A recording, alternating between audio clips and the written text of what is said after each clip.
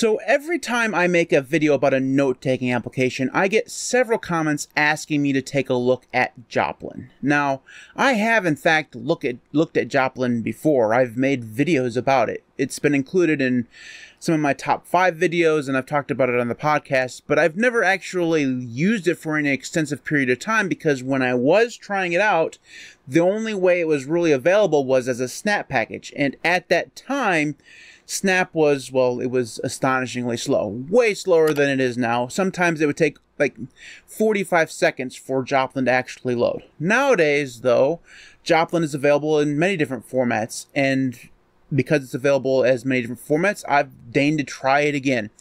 Over the course of the last couple days or so, I've been messing around with Joplin both on my machine here and on my phone, and I have some thoughts, both good and bad. So let's go ahead and talk about Joplin, but before we do, if you leave a thumbs up on this video, I'd really appreciate it. It'd really help the channel. So let me show you my Joplin right now. So this right here is Joplin. Now, I haven't taken a ton of notes. I don't take a ton of actual notes, so I don't want to just like spam it, but I've taken some test notes as you can see here, and I have some private notes in the My Notes folder, and I've used it a little bit. And I have, like I said, some thoughts. First off, the UI is what you'd expect from a note-taking application. It's not great, it's also not bad. I don't have any real qualms with how it looks, how it feels, or how it acts. I will say that it does markdown really well. One of the first things that I always test in any note taking application is how does it do when it comes to no, uh, markdown support, right? And this does really well. It will do code. It'll allow you to put insert a picture just by typing the path to the picture, which is nice. It'll allow you to do a link. It has different size headers, and they all show up both in the actual, you know, editor part and in the preview part, which is nice. It doesn't allow you to add tags. And when I say that is like, yes, you can add tags down here, but one of the things that I've really come to enjoy about Obsidian is the ability to do something like at and then the name of the note or whatever, right? And that's not how you spell note, Matt, really. And it would basically let you link to a note using something like that. And there are actually quite a few applications that let you do that. Joplin, unfortunately, is not one of them. But you can use tags and sort and search by tags if you want to. So that's reasonable enough, even if you can't mention a tag within the note without actually linking to it, because you can actually link to a note, which I've done in this note here. And yeah, well, you can actually link to the internal section, you know, the internal link to a note. It's not great. It just appears as a link and while it will take you to where you need to go, it's not pretty. It's it's more of a link, not a tag. And it requires you to actually do the whole markdown of the you know, the tag or whatever of the note and that's not the greatest. And you can link to an external link, but then it's, you know, it looks like this, and you again would have to do the markdown thing in order to actually make it look ugly it's not great, right? So that's one kind of negative thing. And I know I'm kind of popping all over here, but I'm kind of rambling through this thing because this is not a review. I haven't used it long enough to say, ah, here's my Joplin review, but these are just some kind of early thoughts on it. And just to note that I've been using Obsidian, as you can see the lo- logo right here, uh, for a couple months. Since I made my last video on Obsidian, I've been using it constantly for the last couple months. Now, one thing I will say is that I haven't been using Obsidian for notes. I've been using Obsidian as a markdown editor and as a writing tool. For that, it's fantastic. I can say that Joplin is a better note taking application than Obsidian, at least for my use case, because it's simpler. It doesn't have all of the mind mapping and all of that nonsense that Obsidian does, and that's good because I don't want that in my note taking application. I get distracted by it. I end up actually turning it into something different. With uh, with Joplin, I am actually able to t- use this to take notes. It has a fantastic mobile application. It allows you to synchronize in many different ways, including Dropbox, OneDrive. It has its own Joplin synchronization service. You can also use Nextcloud, which is what I've been doing, and it's a good. We'll talk more about synchronization here in a second, but it works really, really well. And as a note taking application, because it supports Markdown so well, I can take really good notes. I can do checkbox, I can do uh, to do lists, I can do uh, like regular old checkboxes and list item type things.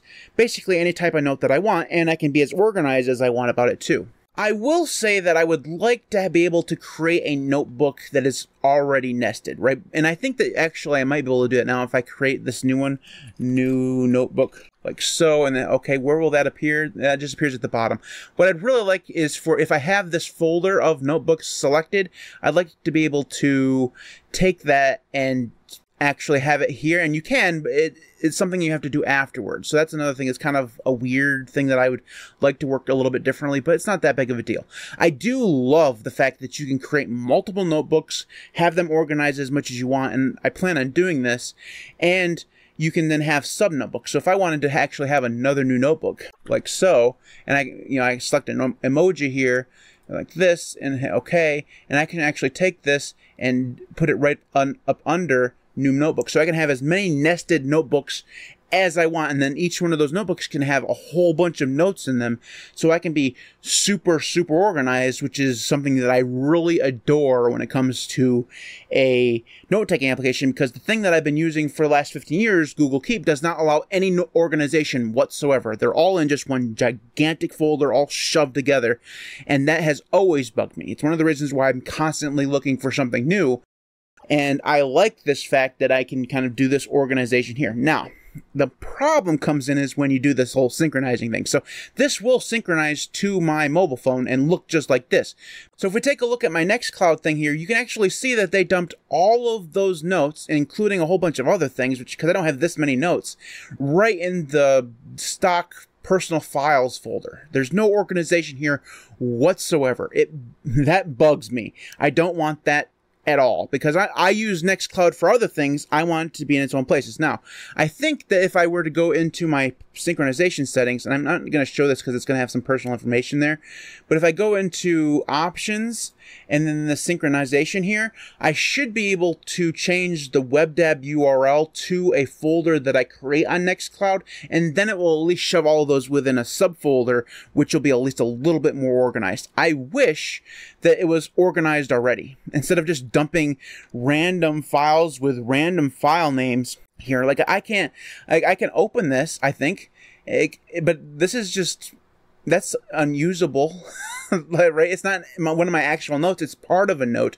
It's some kind of image or whatever. It's just basically metadata, right? And One of these here is probably my actual note, but how am I supposed to know which one's my actual note? So I, I wouldn't be able to use something like Nextcloud Notes in conjunction with this, which I'd really like to be able to do. Like if, if for whatever reason I, you know, I don't have Joplin installed, but I do have Nextcloud Notes installed. These are just Markdown files. I should be able to just view them in another Markdown editor or Markdown note taking application, and that'd be awesome. But because they're unorganized, they're not named, they're not really associated exactly with the notes that I've taken, these are basically unusable in Nextcloud form, which is not great. Okay, so another thing about synchronization that I want to talk about, and I've blurred some of the stuff out here on the synchronization page because it has some of my you know sign information, but there's a part here where it says Nextcloud WebDAV URL, and this is the URL that you need to put in in order to have Joplin have access to your Nextcloud instance, right? It has your URL for your Nextcloud, and then it has a slash remote.php slash dav slash files slash your username. And what here I'm pretty sure that I could add a folder to this and then it would synchronize those my all that stuff to the folder that I specify. I think that's something that I'm going to be able to do, but I'm not sure yet. I'm not going to try it right now here on camera, but I'll try it later. But one of the things that I wanted to talk about here is that this URL is fairly long. And if you want to actually use synchronization on other devices, you have to have this URL in that other application. Now, I'm just thinking about this now. I should have thought about it earlier. Is that I should have just copied this, put it in a note or, or in uh, in my Nextcloud or whatever somewhere where I could actually get to it, and then copied and pasted it. I, like a caveman, decided that I was just going to you know write it or type it out. And that ended up being kind of a pain in the in, in the rear end. I don't like that. I wish there was like a qr code. Once you've edited this they should let you create a qr code to synchronize. That'd be really cool. Let's go ahead and take a look at some of the other settings. I'll probably come back to the synchronization thing because that's the thing that bothers me the most, but we'll we'll move on to some of the other things. So they do have a plugin mechanism, but they don't have a way to actually, as far as I can tell, within the app, show all the plugins that are available. Because if you type like a, a, Vim or whatever, like there's not a Vim plugin, but you can see it as I type things. There's actually a whole bunch of plugins that are available here, like tons and tons of them. That kind of like start with a V, although a lot of these don't actually start with a V, but you get the point, right? You can see that there are a ton of plugins, but as far as I can tell, unless you've started searching for something, there's no way to actually see the plugins that are available, which is not great. I'd like to see all of the plugins that are available, and then I can refine my search once I get there, once I know what I'm searching for, which is, you know, again, not. It's just the way that I'd prefer to work. But this is, I suppose, one way to do it. You, you can go through and ma- make some edits on how Markdown works within the editor itself. Again, I'm being very critical here, but the layout of this page is very texty if that makes any sense. It's very hard to read because there's just a ton of different text things that you have to do, and it's not well laid out. I, you know, you have a lot of room over here. Make this two rows. And make the text a little bit bigger. Make instead of text boxes, make buttons. It would be better designed and easier to kind of suss out what all these things mean if you know it was a little bit better designed. There are also some settings for how the notes work. You can have auto pairs for brackets and parentheses and stuff like that. That's really cool. You can save the geolocation so you can kind of know where you've created the notes. You can also have it auto resize large images, which is really nice as well. It'll, you can also manage on how long you'll keep your note history, which is nice. And there is a fantastic web clipper. I'm very happy to have this back, to be honest with you. I had this when I was way back when, when I was on Evernote, which is like decades ago. It wasn't decades ago, but like 15 years ago when I was at Evernote. And since then, I haven't really had this. Right now, there there are some things that allow me to to send my notes to Google Keep, but that's such an unorganized mess. I never used it. So the fact that I have this back and I can choose where my web clippings go right into the appropriate folder, that's really nice. There's a whole section here of keyboard shortcuts, which all of these are editable, which is something that I really like to see. So other than appearance settings, which you can change the font size, how it looks in terms of theme, it has a few pre-made themes. It doesn't look like you can add other themes, which is disappointing. I wish it just had said, hey, let me just inherit my GTK theme. That'd be nice, but it doesn't. You can have it switch between light and dark based on your system theme. I haven't tried that because I don't use light themes. And there is the ability to turn on a custom style sheet. So if you wanted to do your own custom theme, I suppose that's probably the way that you do it. Another thing here in the general that is really interesting is they do have a keyboard mode. So if you are used to Vim or Emacs, you can actually choose that keyboard mode and then you have access to Vim mode. So that's another thing that I always look for in a note taking application, especially on the desktop. I mean, the, the mobile is obviously different, but on a desktop, I want to have Vim mode, and this has it, which is nice. So it's not the best Vim mode, but it's not the worst either. So if I go back here to a note, I go here, you can see I'm, I'm, in Vim mode. So this is me moving around in Vim mode. I can then go into insert mode, and this is a typing test thing, and then I can go back to, to visual mode. One thing I don't care for is that the block changes sizes with the letters. Like I want a consistent block. Like you can see here it's really small, here it's bigger, and then you know it's bigger there, it's taller. That inconsistency really bothers me, but it's not that big of a deal, right? So it does have Vim mode, which is again really nice. So there are other features that I want that I probably could talk about. Searching once you have a whole bunch of tags is possible. There's there you can search by tag or by note up here, and that's good. Uh, I haven't really found a need for it yet because I only have a, like what 10 tags or something like that, or 10 notes or something like that. So there's no really real reason for me to search. But once if I were to use this long term, after I got a whole bunch of tags, I'd want to test that search to make make sure it actually worked very well. I'm assuming that it probably does, given the fact that you can again add tags down here at the bottom, so that would make things easier to search by. It does have a built-in spell checker, so if you want to add spell checker to your Markdown editor, you can do that. You can also encrypt your note so that you have to enter a password to actually view the note, so that's possible as well. I don't know any of the lingo or jargon around what kind of encryption they're using, but you can use them. It does have this thing called statistics, so you can see how many words and lines and stuff like that. That's cool. It also, I, I believe it will actually show that somewhere while you're typing. I'm not actually sure if that's true. I might be mixing up another application with that. It doesn't have anything like a focus mode as far as I can tell. So if you wanted to use it like a focus mode, it's possible that I'm just missing it, but there's no like big thing here that shows you that there's a focus mode, which is a little disappointing, but not that big of a deal. There is a whole bunch of collaboration stuff that they have, so you can share notebooks, share notes, and stuff like that, but I didn't get into any of that, so I don't know how well that works. So if that's something that interests you, you'll have to kind of look at that on your own, but it is something that is there if you need it. So overall, to be honest with you, I'm a little down on Joplin. And I'm disappointed in the fact that I'm down on Joplin because overall it works kind of the way I want a note taking application to work. It has a tree style notebook list so I can actually be as organized as I want. It has the, a really good markdown editor support so I can do all the markdown stuff that I want. It does synchronization. It doesn't charge you for synchronization like Obsidian does, which is great. But the big downer here for me has been the synchronization. It synchronizes fine. I'm going to put up two video, two screenshots right now of the stuff that you saw me create in a mobile application. It's synchronized perfectly fine. But I don't want all that stuff shoved in my Nextcloud, just general files folder. Like, uh, eventually that's going to get out of hand.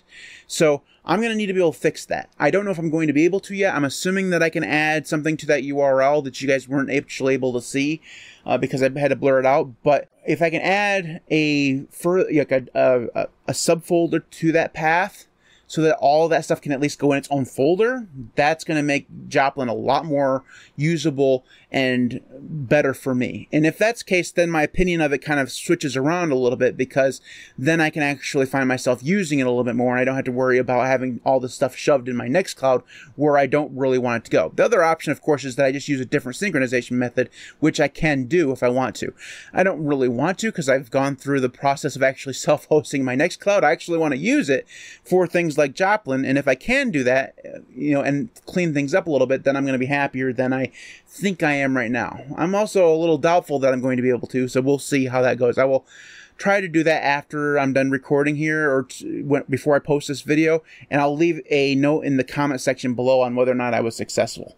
Uh, but overall, I have mixed feelings. The synchronization stuff, I, as I, as I said, uh, I don't know yet. We'll, we'll see if I can fix that. Fix that. If I can't, then Joplin's probably not for me. If I can, then the rest of it's kind of okay. The the UI is good. I don't really care for the settings stuff. It's very confusing and kind of all over the place. But you know, whatever. I don't. I'm not going to spend my time in the settings anyways. In terms of actually like taking notes, it's pretty good, right? It has a good markdown stuff. It has the ability to organize stuff as much as you want. You can add tags, and well, you can't mention tags in notes. I don't. You know, I, I can live without that feature. It's really pretty good if I can get that synchronized stuff to actually go where I want it to go. So overall, Joplin, good note taking application on the syncing. So if you have thoughts on this, you can leave those in the comment section below. I'd love to hear from you. You can follow me on Mastodon or Odysee. Those links will be in the video description. You can support me on Patreon at patreon.com slash thelinuxcast. You can also head on over to the store, which is available at shop.thelinuxcast.org. There you'll find hats and hoodies and t-shirts and, and all sorts of other merch.